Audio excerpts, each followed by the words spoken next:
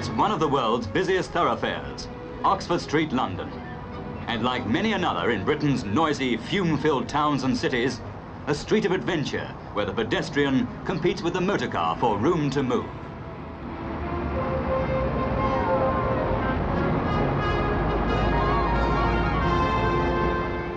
It's jam today and even more jam tomorrow as the traffic builds up. Every year in Britain, there are 350,000 road casualties, three out of four in built-up areas.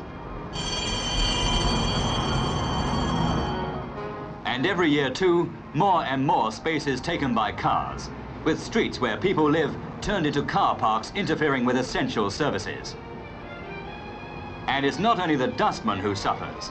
The vehicles of Britain cause huge delays, the cost of which has been worked out at over 500 million pounds a year.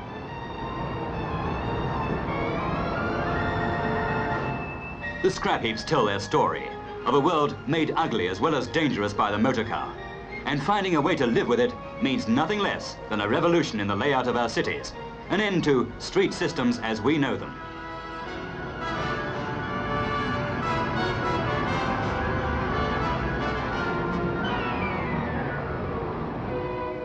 This report points the way. It's the result of a three-year study of the long-term problem of traffic in towns and cities, led by Professor Buchanan, who once called Oxford Street the most uncivilized street in Europe. And here's its vision of the Oxford Street of tomorrow, with traffic and pedestrians on different levels. The main idea, to build cities with districts where traffic won't be allowed at all. Today, 11 million cars are on the roads. By 1970, there'll be 18 million. Inside 40 years, 40 million. To keep them all moving means motorways and flyovers and underpasses.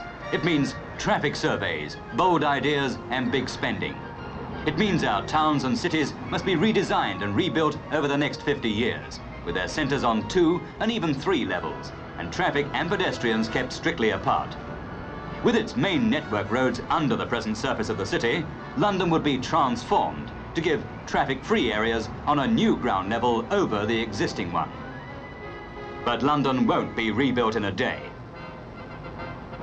And for now, it must meet the challenge of the car with one-way systems like this at Mansion House.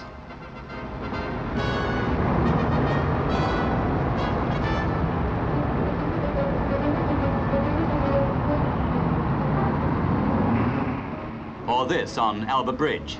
Two-way traffic most of the day, changing to one-way in the peak hours. Into London in the morning, out of London in the evening. It's an idea called tidal flow.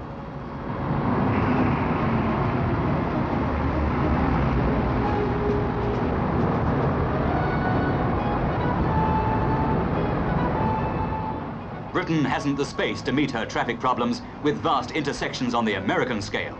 Intersections which cover acres of land.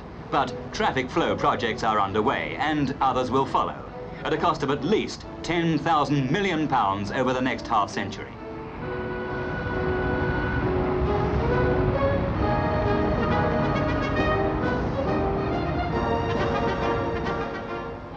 Here's how Liverpool plans to cope with the car with a new city centre designed to handle the amount of traffic expected in 1985.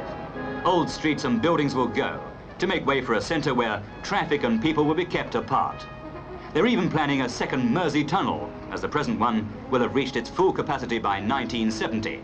And the new Mersey sound looks like being that of the demolition squads preparing the way for the motor age Liverpool, with flyovers and underpasses and parking space for 30,000 cars.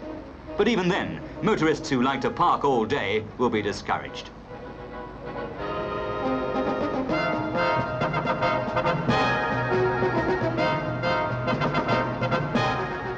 In some cities like Norwich, the conflict between pedestrian and motor car can't be eased just by sweeping away the old and rebuilding. For Norwich has a centre of architectural value, reflecting centuries of history. Fine old churches, the castle, and buildings that take you back to medieval times. Here are streets that echo the sounds of the 15th century, rather than the revving engines of the mid-20th. Streets built to last. Streets nobody wants to see bulldozed to make room for the Rolls and the Mini. streets made for a population that went about on foot. Here the pedestrian and the car are closer to each other, and there's less room for both. The city's population is rising, and so is the number of cars. On a weekday, between 40 and 50,000 vehicles enter the old city, and many park on its streets.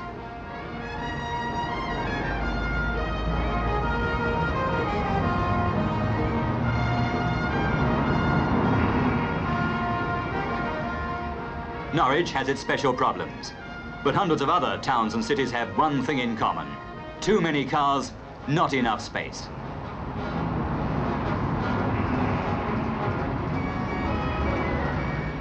Those sixpenny symbols of strife, the parking meters, are no real answer to traffic congestion.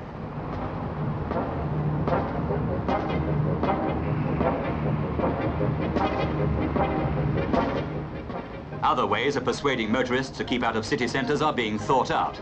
There's talk of pricing road space for journeys and even of allowing motorists to enter some areas only if they have a special licence. But who would qualify for a licence? That's anybody's guess. Whatever is tried, one thing is clear. Tomorrow's motorist will have to find his level. For even with multi-level garages like this fully automatic six-floor park for more than 450 cars in London, there'll still be more cars trying to enter our cities than there's room for.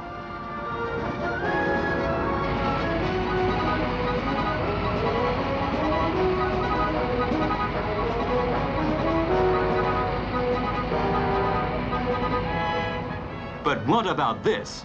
A new town expressly designed for the motor car age on the basis that every family living in it will own a car. A town where traffic is concentrated on motorway-type roads built for free flow and safety. A town of peaceful coexistence between motorist and pedestrian.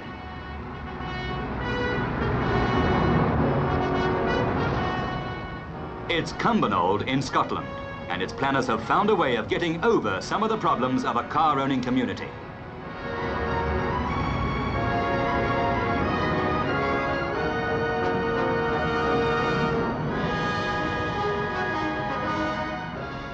Here's one of the housing areas where no car can enter and where children can play without risk of being run over.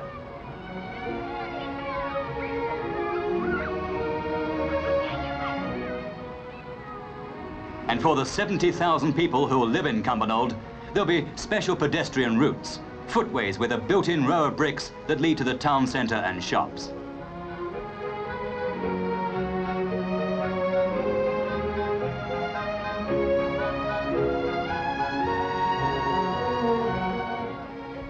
It's what the planners call a second generation new town, and it's going up to relieve overcrowding in Glasgow.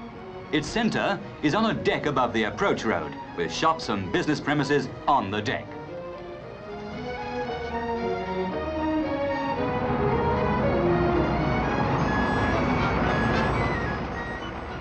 Yet even as Cumbernauld grows and its builders work on the town that's meant to meet the impact of the motor car, it may have been overtaken in the high-speed drive into tomorrow. For some experts are already saying that its basis of one car to one family isn't enough, that many families in the future will own two cars. If the motor car is not to become our master, Britain has to face a revolution as drastic in its own way as the Industrial Revolution of nearly 200 years ago. It'll be costly. It'll mean a big upheaval. But unless we're prepared to restrict the number of cars coming onto the roads, there's no other way.